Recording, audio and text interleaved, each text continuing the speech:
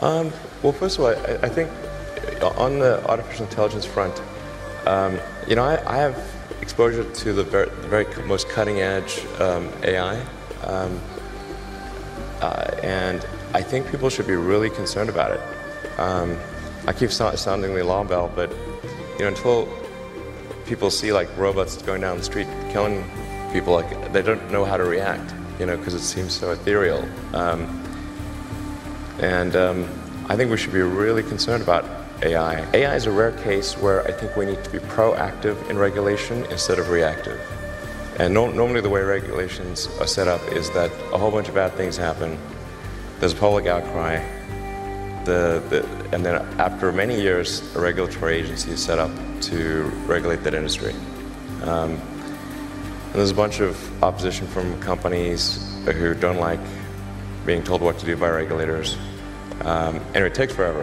Um, that, that in the past ha has been bad, but not um, something which represented a uh, you know, a fundamental risk to the existence of civilization.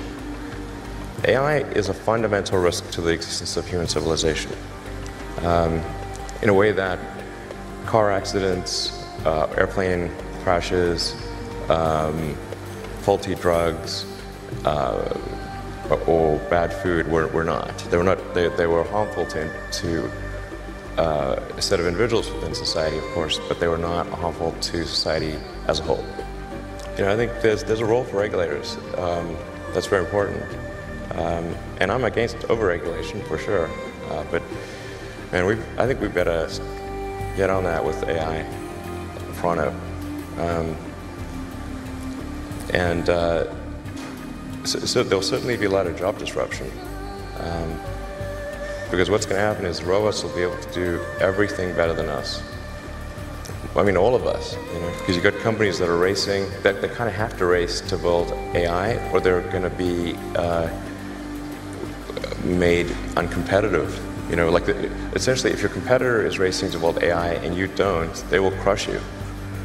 So then you're like, ah, we don't want to be crushed. So, uh, you know, I guess we need to build it too.